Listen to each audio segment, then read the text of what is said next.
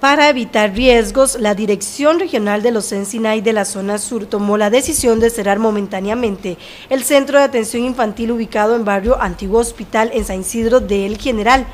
Durante esta semana se presentaron algunos problemas con el sistema eléctrico, por lo que temen que suceda alguna situación en el lugar, máximo que en este lugar se atienden a unos 90 niños, por lo que a esos pequeños los están remitiendo a los Ensinay de Lomas de Cocorí e Imbo el Clavel. Ya se nos había hecho algunos reportes previos de algún problema en el sistema eléctrico. este, este, establecimiento tiene bastantes años, aquí eh, estuvo el hospital del, cantón y aunque el Sensinay se le ha eh, hecho algunas reparaciones en la parte de infraestructura, inclusive ampliaciones, se hizo la cocina aparte, precisamente para, para que la construcción eh, no tuviera que ver ¿verdad? con el edificio antiguo, pero sin embargo esta parte donde están los niños, las aulas, ¿verdad?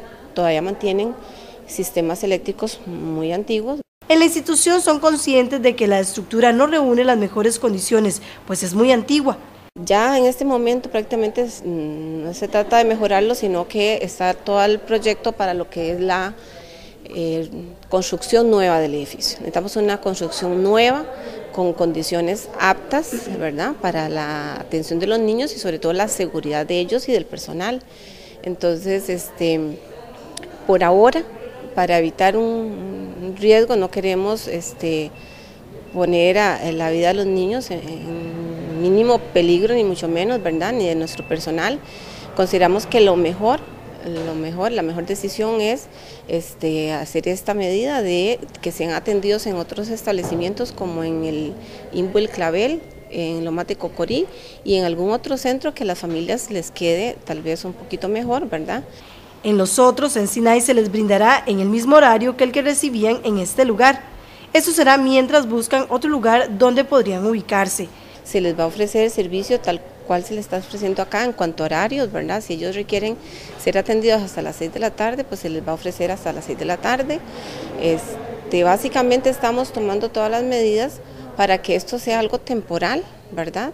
Eh, tal vez unas semanas mientras sale la contratación de, algún otro local, espacio, ¿verdad?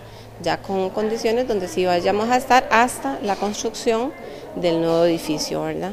En un momento se analizó hacer un cambio de la instalación, sin embargo, los daños van más allá de lo eléctrico. En algún momento se pensó en hacer alguna posible reparación, por lo menos preventiva. Vamos a ver, estamos esperando la Dirección Nacional, eh, con la que nos comunicamos en estos días, con la doctora Lidia Conejo. Ella este, está enviando un eh, ingeniero eléctrico, probablemente llega el, día lunes, a hacer una nueva valoración de las condiciones actuales para tomar ya pues decisiones más en, más en firme, ¿verdad? Pero por lo menos yo esperaría que, que si hubiéramos que regresar acá nos den la seguridad de que, de que las cosas estén bien, ¿verdad? No vamos a, regresar a, exponer ni, ni a los niños ni al personal nuestro. En la dirección regional indican que hubo cierto malestar de algunas madres, pero afirman que toman esa decisión antes de que ocurra la tragedia.